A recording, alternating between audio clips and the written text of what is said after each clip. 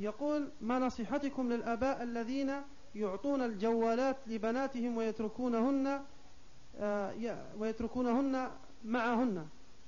والله هذا خطر عظيم. إعطاء النساء الجوالات خصوصا الشابات هذا خطر عظيم.